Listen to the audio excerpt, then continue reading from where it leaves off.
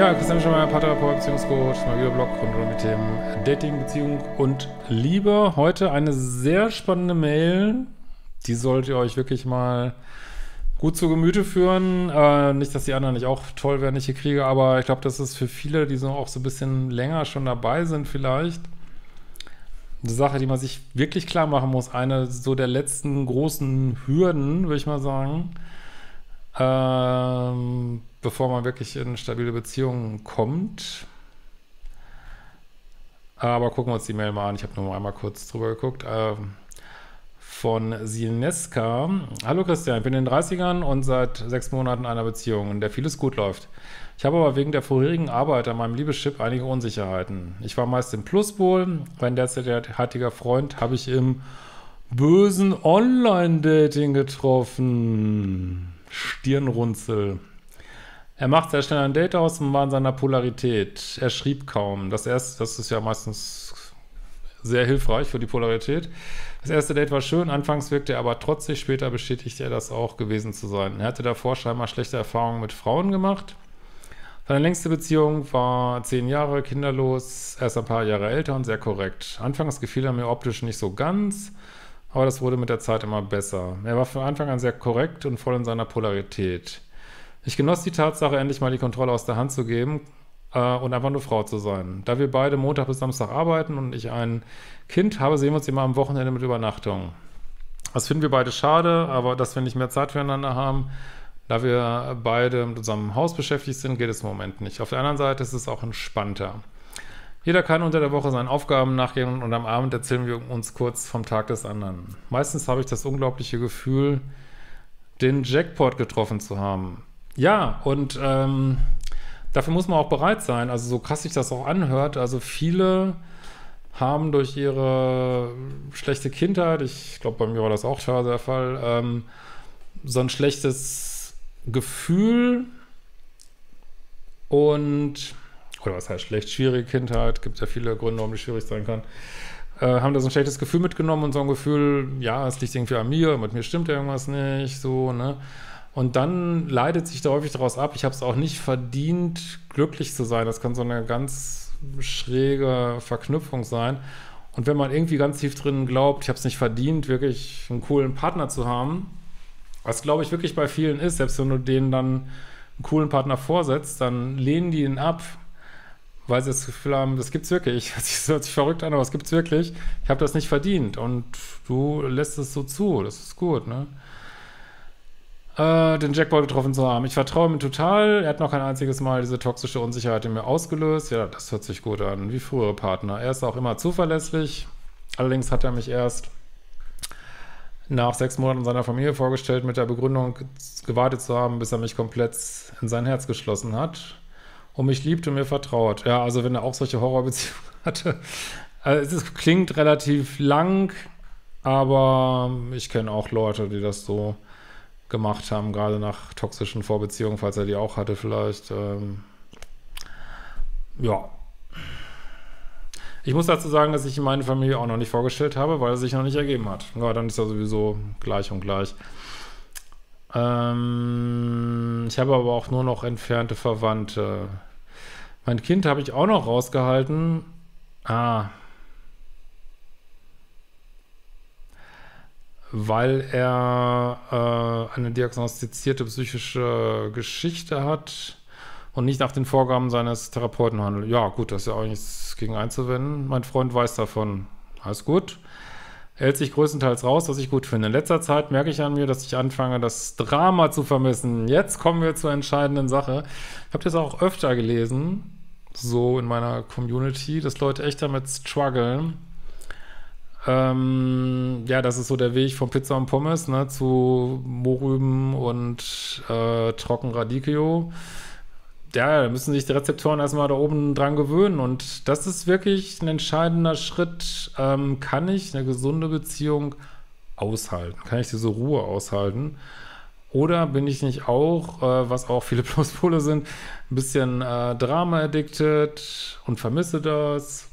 also das Vermissen ist ja noch nicht schlimm, so, aber vermisse ich es dann so sehr, dass ich da wieder reingehe und ich, äh, weil ich da gerade so drin bin, meine ich war nicht dabei, aber ich zitiere mal wieder Johnny Depp, der wirklich x Jahre mit äh, der bezaubernden Vanessa Paradis zusammen war, immer schön pendeln zwischen äh, USA und Côte d'Azur und Fein Fein und Kinder und liebe Frau. Und ähm, ja, und jetzt, jetzt nichts gegen Amber Heard, aber äh, ich meine mal ganz ehrlich, geht in eine hoch toxische Beziehung rein, die scheinbar viele Aspekte wiederholt, die er aus seiner Kindheit kennt, obwohl er vorher äh, ja, offensichtlich eine, wissen wir jetzt nicht, aber offensichtlich eine bessere Beziehung hatte. Warum? Ja, er hat es wahrscheinlich auch vermisst, ne? Und dann, oder vielleicht nicht bewusst, und dann ah, kommt er wieder in diese so eine toxische Ausstrahlung rein und ist wieder, ja, deswegen, ähm, auch wenn sich das hart anhört, man bleibt, deswegen rede ich auch gern von Liebessucht, weil es bleibt, glaube ich, eine Anfälligkeit, ne?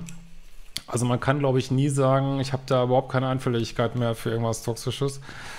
Ähm, vielleicht ist sie nur noch ganz gering oder so, aber ja, man sollte da schon wachsam bleiben. Aber am Ende des Tages, das muss ich auch immer ganz klar sagen, äh, muss das jeder für sich wissen. Ne? Man muss sich halt nur immer klar machen, äh, wenn mir das zu langweilig ist und ich gehe wieder in die, diese sche toxische Scheiße-Story rein, wird wieder die gleichen Erfahrungen machen. Ne? Also es wird wieder Drama geben und mal ganz ehrlich, was ist denn, wie, wie viele gute Zeiten hat man denn in toxische Beziehungen? Hast du irgendwie, okay, du hast mal fünf Minuten toxischen Sex, okay.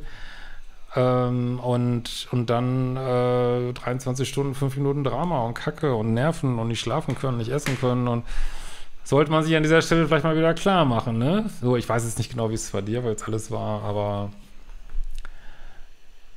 Just saying, ne? Mm.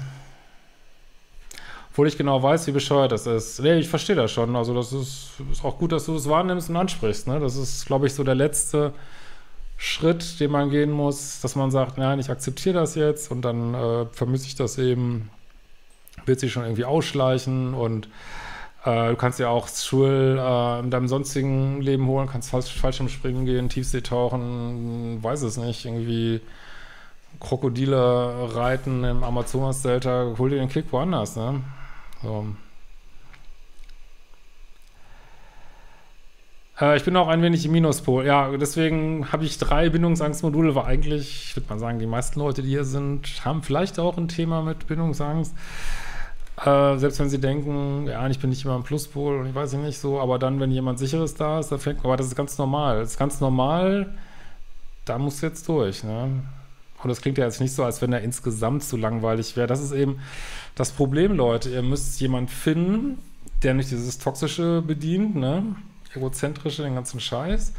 Und ihr müsst aber auch jemand finden, der nicht zu needy ist, weil das kickt so in die Bindungsangst. Also, das ist ein relativ schmaler Korridor. Aber es klingt jetzt nicht so, als wenn der nicht passen würde, so, ne? Kann ich jetzt nicht sagen. Dann muss man da einfach durch, ne? Seine Bedürfnisse schildern, äh, Zeit mit sich verbringen auch mal, aber was habt ihr ja eigentlich, ne? Gleichzeitig träume ich von Situationen, die momentan unrealistisch sind und die ich mir selbst auch gar nicht real wünsche. Ja gut, je mehr man sich mit Liebessucht beschäftigt, umso mehr ist, sieht man, dass es auch so eine Romantisiersucht ist, ja Gott, das ist aber auch jetzt, weiß ich nicht. Zum Beispiel davon zusammenzuleben. Ja, warum nicht? Könnte ja irgendwann, ne? Letztens, ah ja, jetzt geht's wieder los. Ja, letztens habe ich mich sogar dabei ertappt, mit dem Nachbar zu flirten, der mich furchtbar angemacht hat und mit dem ein toxisches Stell dich ein Viereck die mögliche Folge wäre. Ich schäme mich tatsächlich vor mir selbst. Also ist ja jetzt nichts passiert, ist alles gut, du sprichst das an, du schreibst mir eine E-Mail. Aber das ist genau das Problem. Ne? Dann sagt man, also es ist wirklich ein hochspannender Punkt. Ich finde auch spirituell ein spannender Punkt. Weil vielleicht, ich kenne jetzt nicht deine Vorgeschichte, vielleicht kommst du, oder viele hier, die hier sind, kommen aus Vorgeschichten von der böse Narzisst. Wie konnten die nur nein und alle böse, alle, alle schlimm und hab das erlebt, dies erlebt, das erlebt. So, und äh, dann arbeitet man an sich. Ich weiß nicht, was bei dir so war. Kommt in eine sichere Beziehung, und dann denkt man auf einmal, oh, jetzt hier den Nachbar irgendwie im Geräteschuppen vernaschen, zack, zack, ein bisschen fünf Minuten äh, toxischen Sex auf dem Rasenmäher und herrlich und ähm, ja. Musste ich auch nicht, musste ich für nichts schämen. Das ist das, was in deinem System gerade passiert, ne? Und äh, mehr Ratschlag kann ich dir ja nicht geben, außer ja, dir klar zu machen, was, äh, das ist so ein bisschen so, als wenn man so einem Ex-Junkie, wenn der sagt, ja, mein Gott, äh, die Drogenpartys waren aber lustiger als hier, ähm, weiß ich nicht, auf der Nikolaus-Feier äh, hier äh, um die Ecke im Jugendheim. Ähm, ja.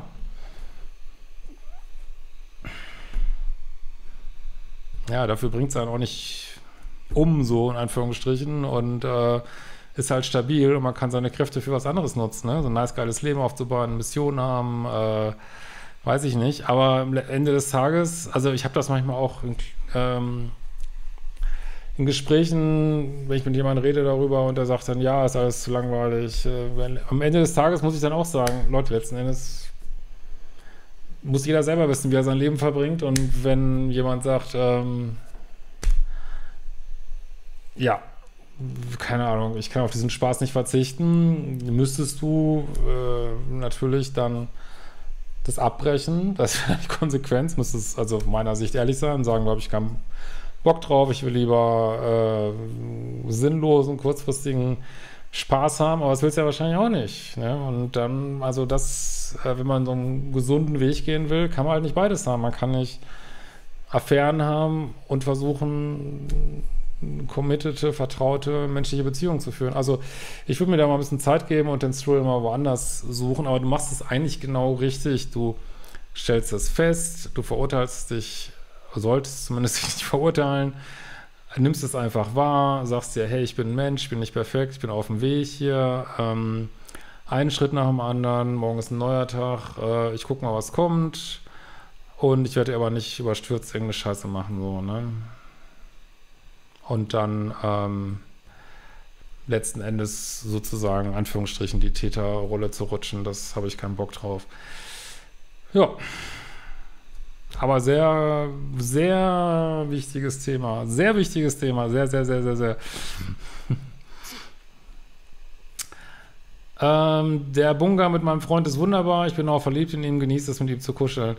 Also es hört sich für mich schon nach einer richtig guten Beziehung an. Und eigentlich der ideale Punkt, da auch den letzten Anziehungspunkten äh, deines äh, toxischen Liebeschips da den Gar auszumachen, sag ich mal. Hört sich echt gut an. Also hast du gut gefunden, der Typen, glaube ich. Ähm, ich habe Angst, dass ich es kaputt mache, weil ich das Drama vermisse. Ja, gib dir mal ein bisschen Zeit. Bisher ist dann, hast du ja noch keine Scheiße gebaut. Ne? So.